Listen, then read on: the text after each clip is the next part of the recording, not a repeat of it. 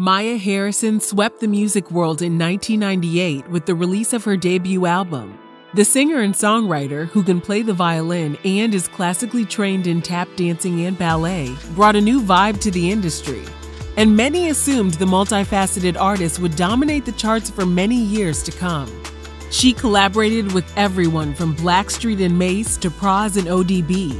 She also snagged a Grammy, tried her hand at acting, and even starred in the film Shall We Dance. But as the years passed by, Mya seemingly disappeared, and there are more than a few reasons why she decided to shun the spotlight. This is a story of men in the industry spreading hurtful rumors about her. I've been in this business for 20 years. I've heard it all about right. me and other females too, but mostly the females get scrutinized and the mm-hmm. males get mm-hmm. praised. Mismanagement by her record label, and a mental health breakdown that almost destroyed her life. Here's what really happened to Mya. Mya Harrison is one of three children born to Teresa, an accountant, and Sherman, a musician and singer. At the age of four, she fell in love with music after watching her dad sing in church.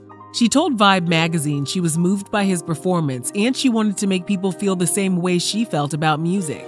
As she expressed her interest in the music business, her dad helped her perfect her vocal abilities, and both of her parents took control of her career and became her managers. Her dad shopped around her demo, and while she was still a teenager in high school, she signed a recording contract with Interscope Records. For two years, her record label assembled an all star cast of collaborators, including Missy Elliott, Dru Hill, Diane Warren, and Silk the Shocker. In April 1998, when Mya was just 18 years old, her debut self titled album was released. It went platinum, with over 2 million copies sold worldwide. Everything was perfect. All of her dreams were finally coming true, but sadness was right around the corner. The same year her debut album was released, her mom was diagnosed with breast cancer and her parents' marriage was falling apart.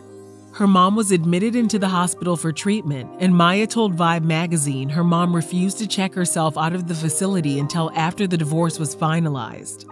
Through the turmoil, Mya was still trying to prove herself to her record label.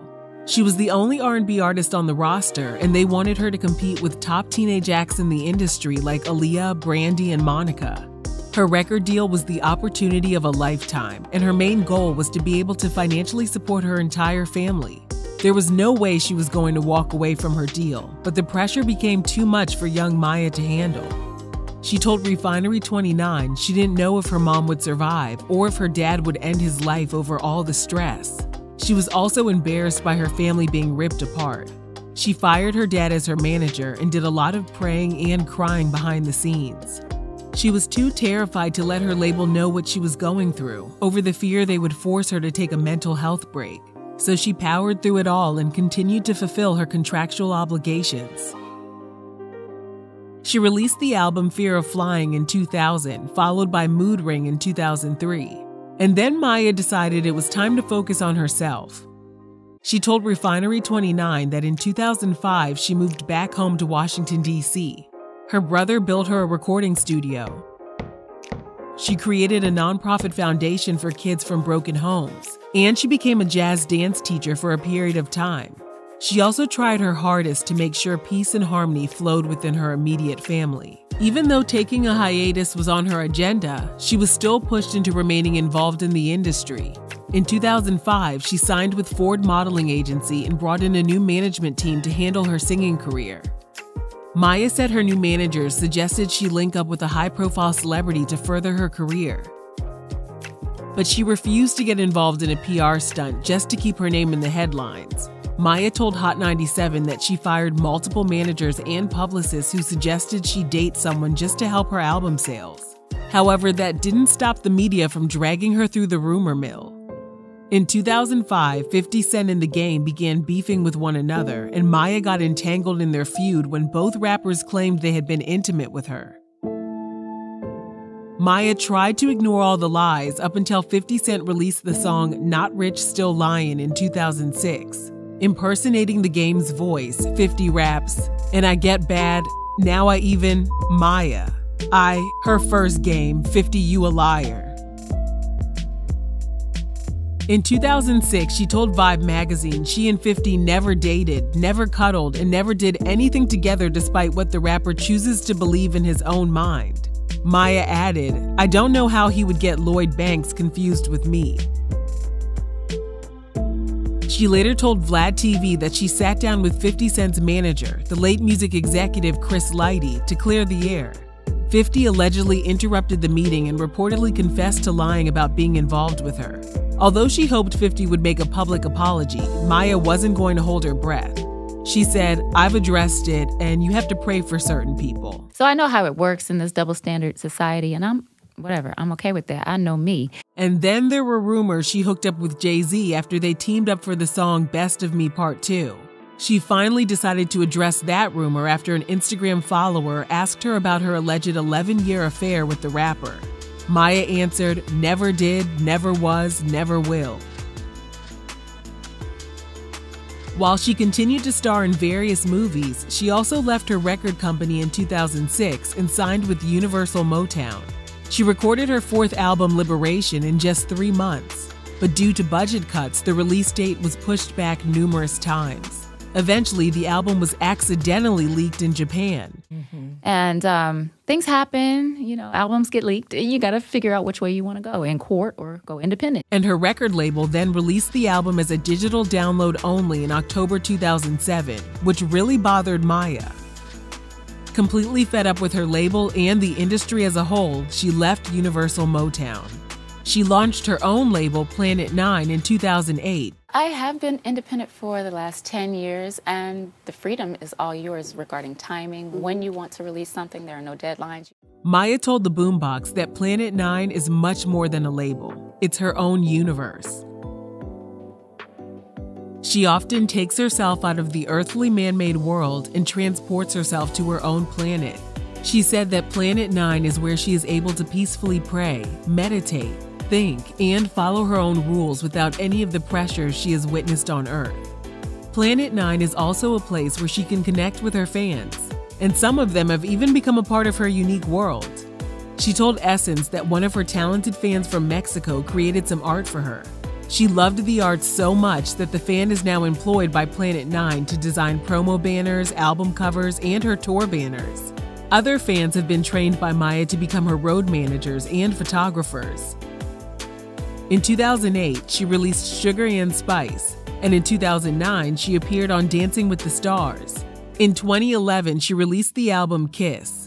She independently released three EPs in 2014 and 2015 before releasing her next studio album, Smoove Jones, in 2016. The album caught the attention of the industry, and Mya was nominated for Best R&B Album at the 2017 Grammys. Then her album TKO The Knockout was released on April 20th, 2018 to commemorate the 20th anniversary of her debut album. Mya says she's constantly approached by fans who beg her to release new music. She politely directs them to her website and social media pages and lets them know she has never stopped making music.